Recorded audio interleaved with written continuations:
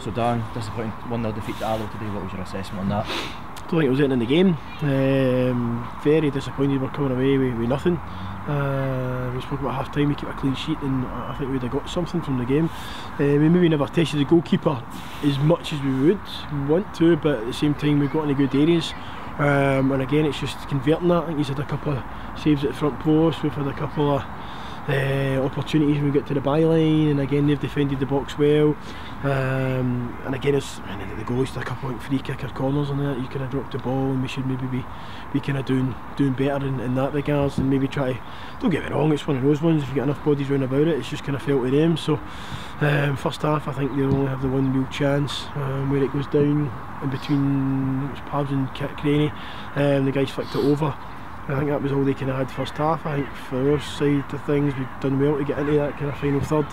Um, some good wee bits of play, but at the same time, the, the, the chance or the shot or the striking goal was missing. Uh, we get three or four good opportunities. I felt to to get the shots on target. We don't. Uh, we don't make the keeper make a save, so you don't get anything off the back of that.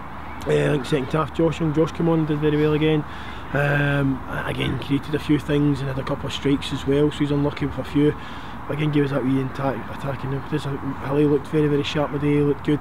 Uh, but no, if we can't keep clean sheets then uh, again it's just one of those things, it's just kind of going to cost us. But at the same time we know we need to be taking chances, we know we need to be capitalising when we're in, in good play and we're in possession of the ball. Um, so it's, it's, it's just it's frustrating because you're coming away there and it's yeah, it's improved on Tuesday night performance, but at the same time we, we get nothing from it, so it means nothing in the end.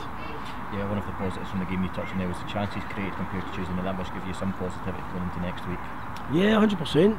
It's again, it's, it's been there, but it's again, whatever it is, it's kind of lacking that, that, that final that final bit. Um, yeah, again, leading up to the, the, goal that we lose, we've got two or three opportunities in the middle of the park to, to take guys out. We don't. Um, again, if you're not, if you're I think Jojo had to pull out. He was one that was close. We can had to pull out. On a booking, but one or two other guys uh, who were close by. Again, can we take it and again off the back of that, we then go and uh, get up the, the other end, and again the chances that we create. It's, it's just it's, it's, just one of the things. It's just, just again we work hard. We need to work harder, um, not so much in physical terms, because again the desire and the work rate's there, but it's just working harder at the game. And then when it comes to decision making on the park and game intelligence, etc., uh, again going going play to our strengths. But uh, we need to take it. We need to lick our wins and come Tuesday, Thursday, we'll get ourselves back into training, and then we'll look forward to next week's big game. Yeah, there was two, two, two changes from Tuesday night with both fullbacks changing, Ross and Callum coming in. What was your thoughts behind that? Just freshening it up again. We wanted to freshen it up. We've got options now, uh, and again, I think they did they did well when they came in, the two guys. But at the same time, we're obviously wanting to we want to get the, the three points. We want to get the win.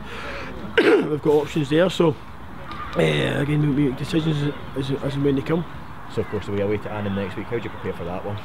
Yeah, we'll see how boys are come Tuesday, Thursday. Um, and again we'll see any, any fitness, injury worries. Uh, again we've got the full squad to pick from, we've got options and again we'll kind of take it and decide once we kind of see the thingy side of things, the see how they've performed and how they're playing team wise from this week. Uh, they get a great result today, so fair play to them. But again, it's up to us. Again, we're not really worried about anybody else. It's more about what we do. Uh, next couple of weeks, big games. Um, every week's a big game, but it's an opportunity for us to kind of pick up points, an opportunity for us to, to kind of get back into the swing of things. And again, we know first and foremost we need to be ready for the battle, ready for the fight, and then after that we'll, we'll see where it takes us. Excellent, Dan. Thanks a lot. Cheers, guys.